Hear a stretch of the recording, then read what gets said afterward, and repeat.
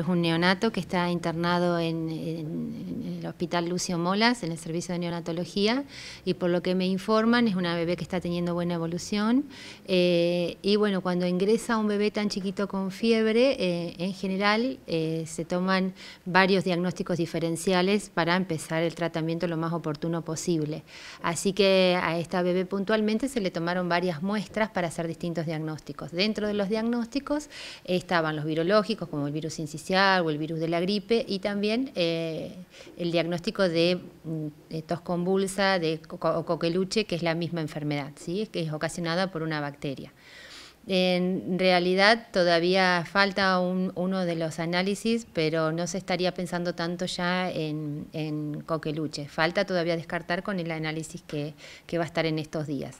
La coqueluche se previene con vacunas, por eso hay vacunas en la mujer embarazada a partir de la semana 20 de gestación. A toda mujer que, está cursando un embarazo se le aplica una vacuna que se llama triple bacteriana celular.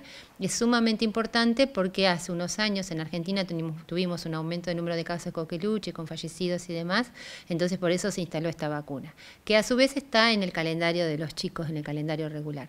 Así que es sumamente importante eso. La coqueluche se transmite de persona a persona, o sea, no es eh, por vía aérea, no, no sería em, eh, como de la situación de la, de la emergencia sanitaria que transcurre en Santa Rosa por las cloacas. Sí, em, el evento de, de los derrames por las cloacas agrega riesgo a la, a la, salud humana, por supuesto, y en función de eso se eh, intenta trabajar en, lo que nosotros conocemos como el observatorio, donde se juntan de los distintos ministerios personas, dentro de ellos participa el Ministerio de Salud, tratando de prevenir las enfermedades que sí se relacionan más directamente con eh, eh, las aguas servidas, como serían más que nada las gastroentéricas, o sea, diarreas, diarreas con sangre, síndrome urémico, ¿sí? y otro tipo de enfermedades más raras, hepatitis A.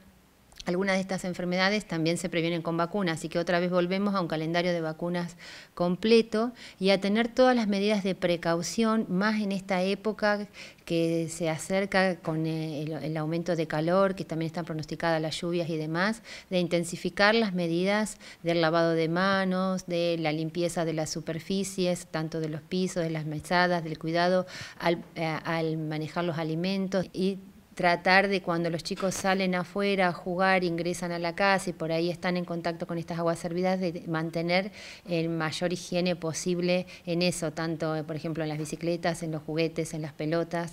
Por ahora desde la salud nosotros podemos dar ese tipo de medidas de, precaución, digamos, de extremar las medidas de higiene y personal y las medidas de prevención como puede ser, por ejemplo, en este caso la vacunación. Es independientemente de todas las obras, lo demás que se, que se esté realizando.